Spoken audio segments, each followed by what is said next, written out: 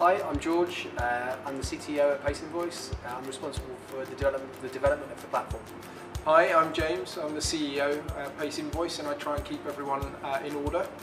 I'm Nick, I'm the sales director. I look after our clients from a sales and marketing perspective.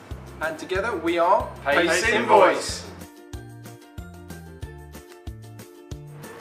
We came into Startup Bootcamp with uh, a clear idea of what we wanted to do, uh, but that sheet got torn up and redefined.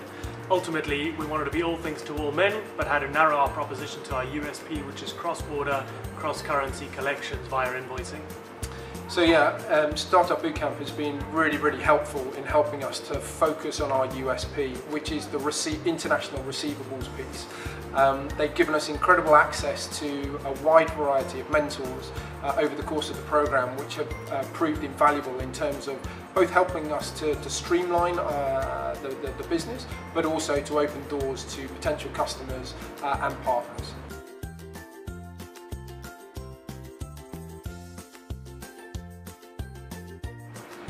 So one of the main things that we did uh, during our time at Startup Bootcamp was to rebrand. Uh, we were originally Manuva, but we decided to go back to our roots uh, and called ourselves Pace Invoice, uh, which really helps focus on our USP. So part of the, uh, the rebranding exercise has been to do uh, work at the back end and rebrand all of that, but also to focus around our USP around invoicing. and to expand on that functionality as well as new areas that we're trying to get into. And to bolster the new functionality within the platform, we've got a healthy pipeline of direct clients as well as channel partners, and we're hoping to sign a couple of pilots potentially with some of the program sponsors as well.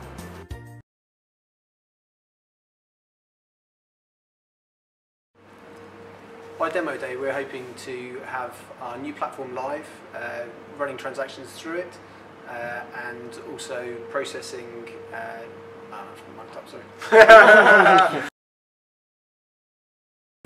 done a lot of work on the platform. Uh, that's involved uh, adding additional functionality, but also kind of um, making it more focused around uh, the invoicing functionality, which we're yeah, which we're focusing on. Focus? Did I say focus?